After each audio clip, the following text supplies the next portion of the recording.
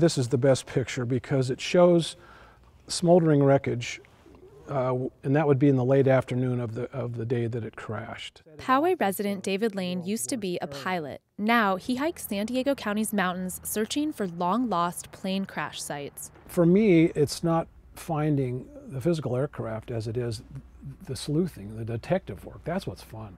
There's one wreck site that's eluded wreck finders for decades. It was difficult to find the site because it was in a fairly compact area, it was on a very rugged hillside. The, the newspaper had conflicting information about the location, which is what threw everybody off.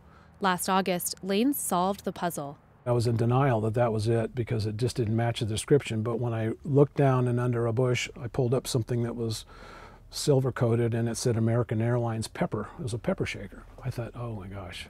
In 1946, American Airlines 22 passenger DC 3, the flagship Baltimore, was state of the art, as big as commercial airplanes could get.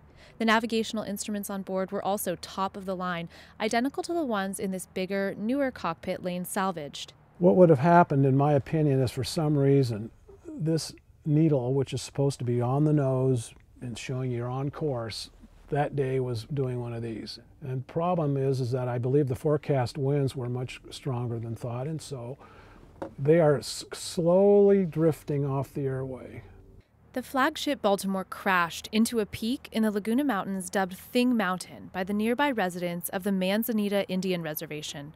All 27 on board were killed, including up to 12 World War II veterans returning home and a young mother bringing her two month old son to a naval air base in Hawaii to meet his father for the first time.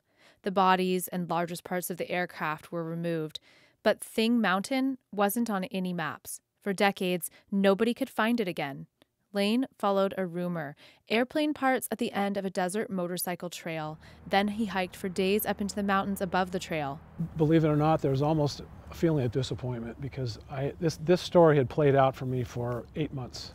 And to actually find it, I was shocked that, uh, wow, this is actually it. He took pictures of the site, now covered in brush, and the aluminum fragments he found scattered everywhere when I left, I had mixed feelings. I, I, wished the journey would continue, but it didn't. That was, and for me, it was the end of the story. But it, it, it could go on from there. All of Lane's findings have been published online in hopes they'll be seen by family members of the flagship Baltimore victims.